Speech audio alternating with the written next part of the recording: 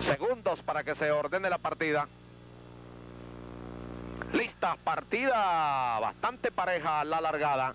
Va la gran favorita Mandorla a ocupar claramente el primer lugar. Pedrajera ataca por dentro para el segundo. Iris Don corre tercera. Times Square cuarta. En el quinto Tangaloa. En el sexto Huaysi. Séptima encendida. Octava y última Invested Gale. Mandorla, la gran favorita, domina el clásico John Bulton de la temporada oficial del año 1984. Mandorla adelante en el segundo, sigue la yegua Pedrajera. En el tercero, Iris Dunn. En el cuarto, Times Square. En el quinto, Tangaloa. Avanza encendida para el sexto. Séptima quedó la yegua White Sea. Y última se ha quedado Investigale bastante lejos.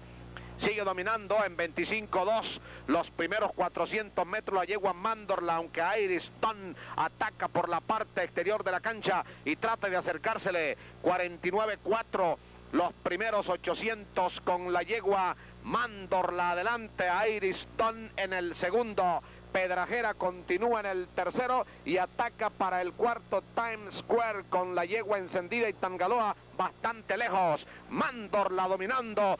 Iristón a la carga contra Mandorla cuando vienen a la última curva. Iristón corre mucho por fuera y está peleando con la yegua Mandorla. Viene Pedrajera para el tercero y encendida para el cuarto cuando entran ya en la recta final. Sigue Mandorla dominando en 1.14.3 los 1200 metros.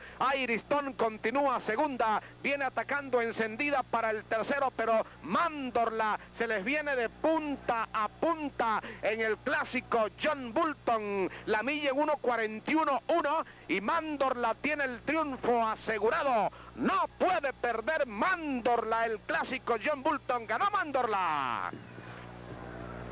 Segunda Iris Stone, tercera encendida, cuarta Hawaii quinta Times Square. Luego Pedrajera, penúltima Tangaloa y última Invested Gale.